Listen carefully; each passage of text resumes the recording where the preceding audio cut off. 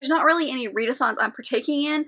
I am doing a kind of video TBR. It's okay, what words? Hi everybody, my name is Kelsey and we're about to get very, very nerdy with February's TBR.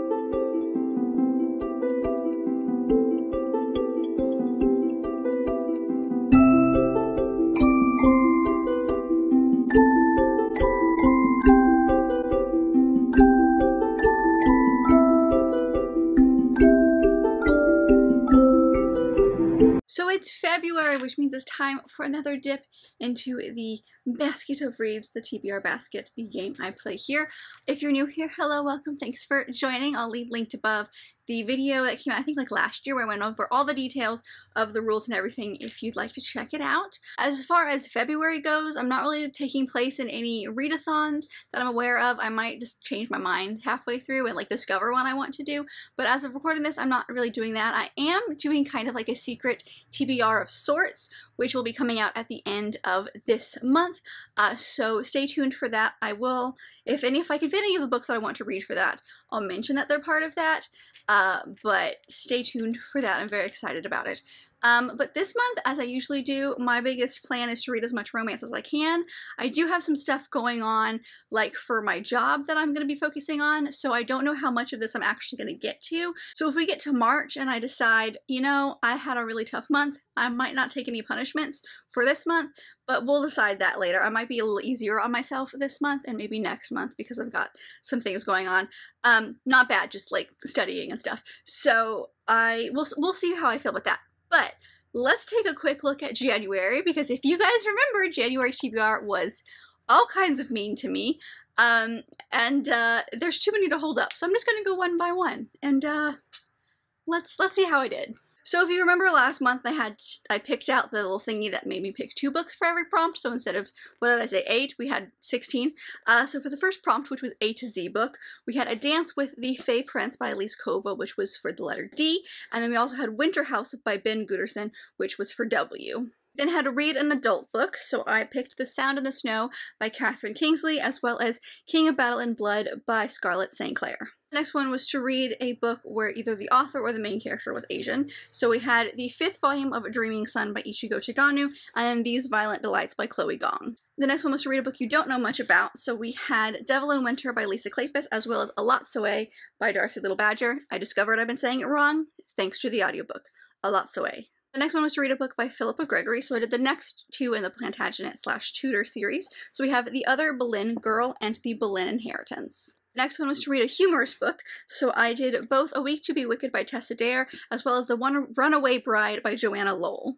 We then had a random color generator, which gave us Under the Whispering Door, and I believe I got the pink that was right here, and then as well as Lore Olympus by Rachel Smythe, which I think I got this purple color right here. And lastly was to read a book with mental health representations. We had the fourth volume of Heartstopper by Alice Oseman, as well as A Court of Silver Flames by Sarah J. Maas as I'm filming this, this looks much worse than it actually is. I have these, what is it, five, one, two, three, four, six that I haven't read. So, um, Lore Olympus, excuse me while I drop things, Lore Olympus is a graphic novel, and I've got a few days left in the month, so I'm definitely going to be finishing that, so won't be taking a punishment for that one. And then I'm also in the middle of Elatsoe, so I'm not going to take a punishment for that one as well. And then I also have started a dance with the Fae Prince. I'm not sure I'm going to finish this by the end of the month, but considering it's on my 2022 books to read, and I have started it, so I will be rolling it over to February no matter what, I'm also not going to take a punishment for this, just because like I've still to read it. It just might not be this month. It'll be next month dead So with all of that being said, these are the three that I have not started, which is King of Battle and Blood, Under the Whispering Door, and The Sound of Snow. Um, so I'm going to go ahead and take a punishments for all three of these. I thought about like trying to sneak in Under the Whispering Door at the end of the month, but considering I really want to do this as a buddy read with my friend Lauren, I'm going to hold off until we both feel ready for that because like We've tried it a couple of months and we both like forget and like life gets in the way. So we'll try that again later. But these are the three that I didn't read. So we will be taking three punishments. So instead of eight picks, we will be doing 11. And by God, fingers crossed, this basket is nice to me this month because I need it to be. I need it to be because I have so many books that I want to like squeeze in this month for one reason or another. So, oh, let's all pray. Anyway, let's get to the first pick. Pick number one is this one, which is to read your next book in the same place the whole time. First one is to read a book sitting in the same place the entire time. I really need to take some of these out and just rewrite them because they're worded very weirdly. Uh, but this one is just to read the book in the same place the whole time. So I'm going to be reading the sixth volume of Dreaming Sun by Ichigo Takano. Um, I read the fifth one last month, so stay tuned for my thoughts. I wasn't my favorite, um, so I'm curious to see where the story is going to go, just because I do love these characters so much, but they did some things in the last one that I wasn't a fan of. Um, I also discovered while reading this that I have been telling you guys the main character's name wrong this entire time. I'm halfway through the series. Anyway, it's Shimana is the main character's name. Um, and in the first book, she basically moves in with a bunch of these guys that she goes to school with, and it's really kind of a found family trope. She's trying to find herself, coming of age. She's It's about high school age as well, um, and this is just the next step in their journey. And like I said, I'm not in love with what happened in the last volume, but I love these characters so much that I'm obviously going to stick it out. I have all of them at this point. So I'm going to stick it out and I can definitely read this one in one spot. Pick number two. Here we go. Got, ooh, a foiled cover. So the next one is to read a book with a foiled cover, which is perfect because I'm going to be picking up A Sprinkle of Sorcery by Michelle Harrison. This is the second in her Pinch of Magic series. There are three out. Um, there's three out in the UK. I can't remember if the, the third one is out in the US yet. But this one's audiobook, I think, came out relatively recently. So I'm going to be diving into this one. And as you can see, all the foiling. Look at that. Oh, so pretty. Uh, but this series follows three sisters, um, and they basically like have magical, they don't have magical powers, but they have like these magical items that um, they've been given. And in the first one, at least, there's a curse and they're not allowed to leave the island that they live on or they will die within like 24 to 48 hours, I believe, of leaving that island. And it's them going on an adventure. So I'm not sure where the second one's going to go because the back is like very cryptic about what is happening. So I'll read you what it says, but it says three sisters with a magical secret, a race against time to find a place that exists only in fairy tales, a journey that will take them into unimaginable danger that tells me nothing. Uh, but I loved the first one so much, so I can't wait to get to this one, and this will be my middle grade for the month as well. Pick number three. Oh, here we go.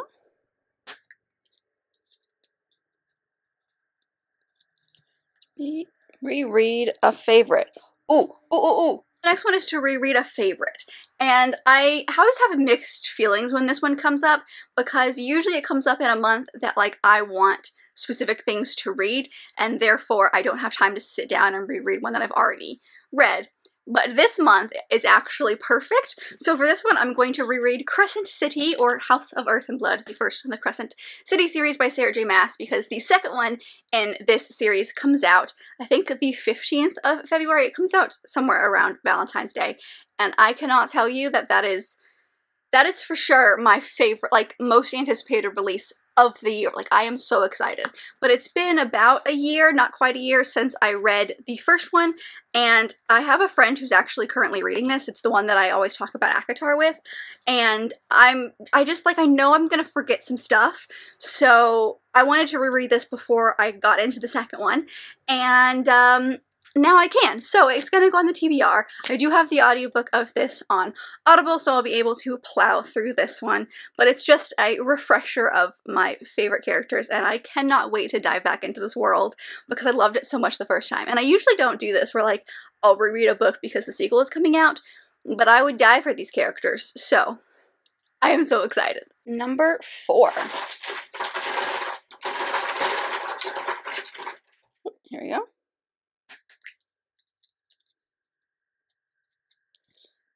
Read read a smut book. then so the next one is again one of those weird ones that was phrased oddly, but this is to read a book with smut in it or a smutty book. And so this one I'm going to assume counts. I mean, I think it counts, but it is the Bromance Book Club by Lyssa Kay Adams.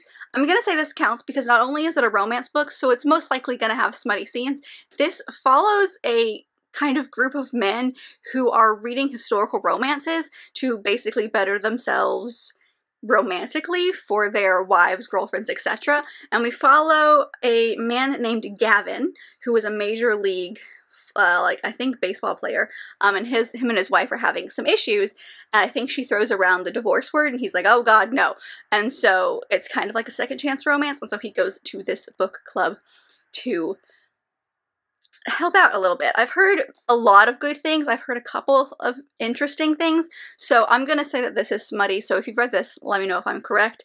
But I'm saying it's smutty because not only are they is it a romance book? They're reading historical romances, which are usually quite smutty. So I'm very excited about this one. This one is definitely for that secret TBR of sorts that I am doing.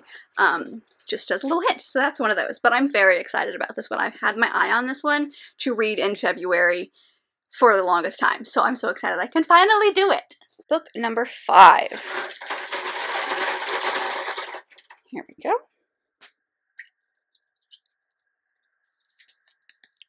read a romance.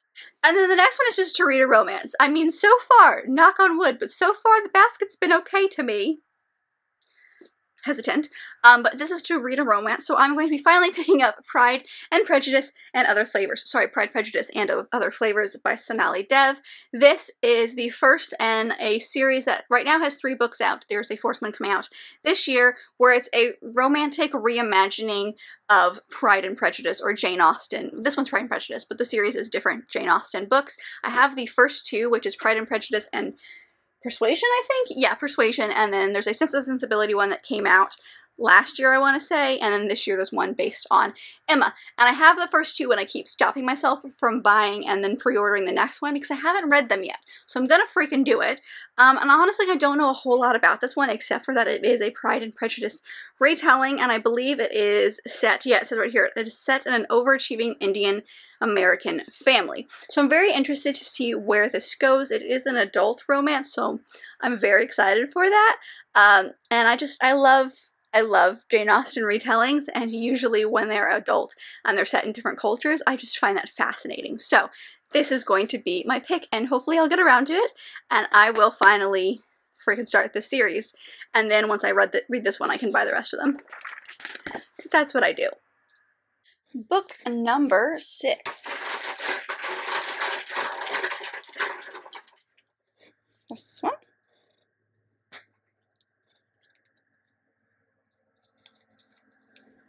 Read a book set in a warm place. So the next one is to read a book set in a warm place. So I'm gonna, I think this works. I'm not 100% sure, but I think this works. And that is If the Shoe Fits by Julie Murphy. I'm saying this is in a warm place because I see palm trees on here and like she's in a dress um, with no sleeves, I think. Or it's, no, there's some sleeves, like a halter. Um, but there's palm trees, which makes me think that it's set in like a California. Even if it is set in winter, California is relatively warm. So that's why I'm going to assume that this is warm.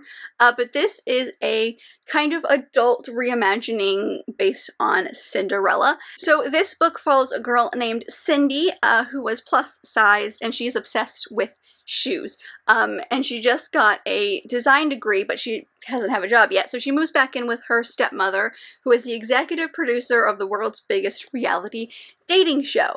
And then something happens and a contestant falls out or like decides not to be part of it at the last minute and she is thrust into the spotlight and she's like oh this is great i'll use this as an opportunity to show off my shoe collection and like maybe people will hire me she's the first and only plus size contestant on this show. And so that garners a lot of attention. So not only is it her trying to get her name out there, she all of a sudden becomes like very like everyone's watching her because she is this first plus size woman on this show.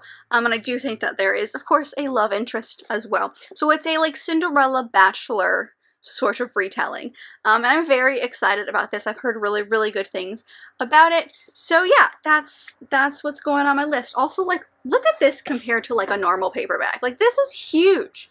Why is it so large? I don't know. But this is definitely on that secret TBR as well. Number seven.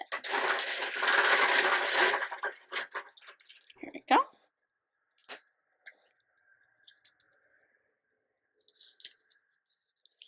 Read a book with an LGBT plus character. The next one is to read a book with an LGBTQ plus character. And so for this one, I'm going to be reading Where the Drowned Girls Go by Seanan McGuire. Seanan McGuire is really good about like peppering in all kinds of different representation. So I'm going to put this one in for this prompt because I think something will work. If not, then I'll find something and replace it. But I'm planning on reading this with my friend Teresa. We've buddy read the entire series of this, and this is actually the book that she got me for Christmas, so thank you so much, Teresa. Uh, but this is set in a world where there are kids who go through doors, kind of like Alice from Alice in Wonderland, into other worlds, and these other worlds are like the perfect world for them. And then sometimes things happen where like the world kicks the kids out or the kids leave the world by accident and they're stuck back in like their original reality.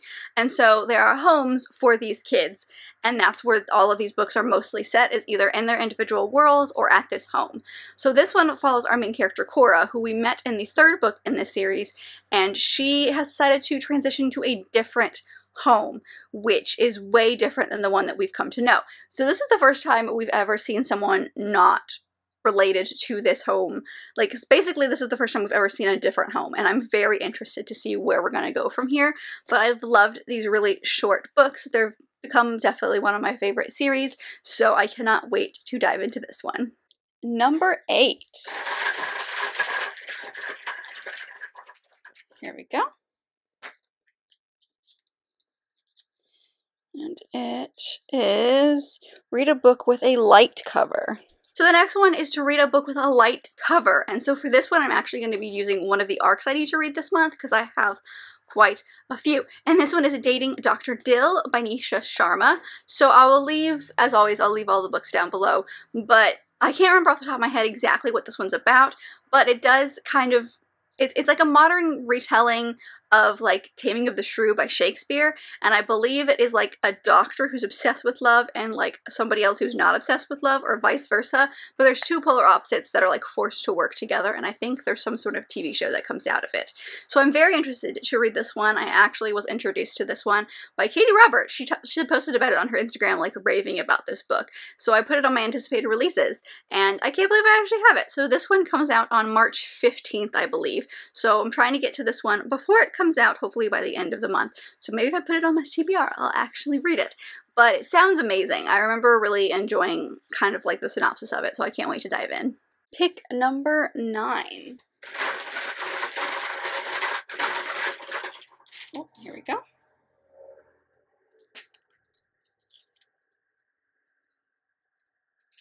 For goodness sake. Okay. Most recent purchase. Ooh, the next book is the book that you literally just recently purchased, the last one you hauled, which is perfect because the last one I hauled right before, well, a few days before filming this one, is Weather Girl, and this one is by Rachel Lynn Solomon. This book is very relatively new to my radar. I bought it because it's going to be part of that secret TBR again.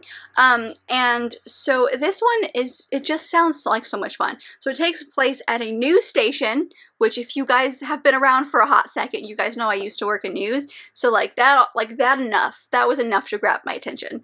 Uh, but it is a meteorologist and a sports reporter who basically work to get their bosses together so they can have more free time. It reminds me of this Netflix movie that I watched a few years ago called like Set It Up, I think, where it's basically th these two assistants who try to get their bosses back together for that exact reason.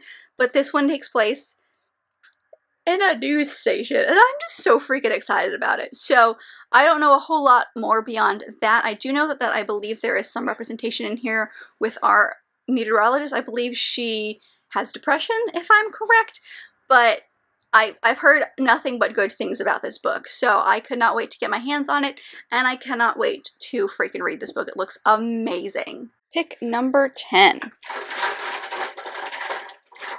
Oh, we go.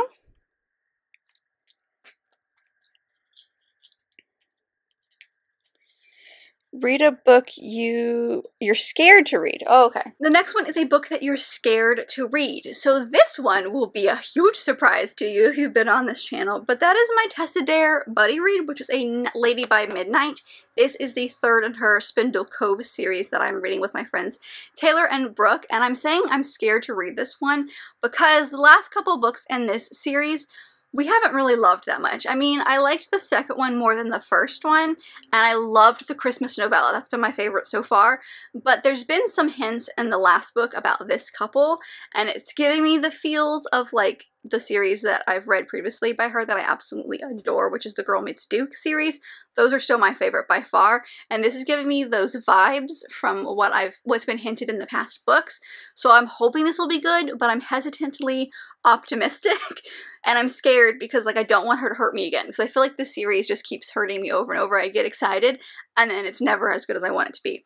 But this one in particular follows Kate who is at Spindle Cove and just back up. So this series it takes place at Spindle Cove which is basically a seaside town where a bunch of girls go if they don't fit in with society, if they've got some sort of illness, if they're wallflowers, things like that. This is where they go to really recuperate is how it's called. People call it Spinster Cove because it's a lot of women that usually don't get married and so they come here. And so this is a bunch of people in the town's respective romances. So this one follows Kate, who we've known for the past couple of books. She's honestly so much fun. And she and this guy, because in the first book, a bunch of militia come into town. So Corporal Thorn is one of them, and he is been very silent, kind of very quiet. He doesn't really show emotions at all. And it's the two of them somehow get into a fake engagement. And then obviously there's going to be real feelings because of that. And it's been hinted at, like I said, in the last book specifically. And I am really excited about them. But again, I'm also terrified. Like I don't want her to hurt me again. So, fake engagement is usually like a one-way ticket to a five star for me. So I'm hoping that's the way it's going to happen in this one. But uh, I'm very, very hesitant about it. And last one, number 11. Oh, I gotta fix this. The back of this is awful. Okay, uh, here we go.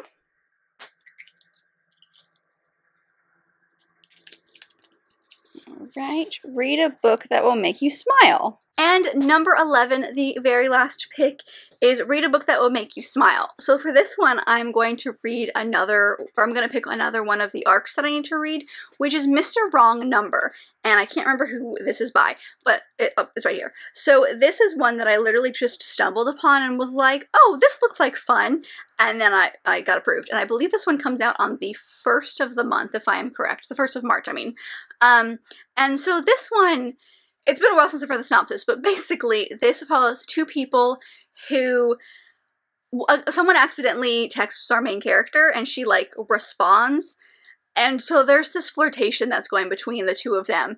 And if I remember correctly, it's actually like a neighbor of hers that she doesn't get along with in real life. So it's one of those like real life doesn't get along, but like online gets along. And that just seems really interesting to me. This cover looks like a lot of fun. I do think I'm to start giggling a lot during this book because of just some of the situations our characters are to get in. I think it's to be really funny.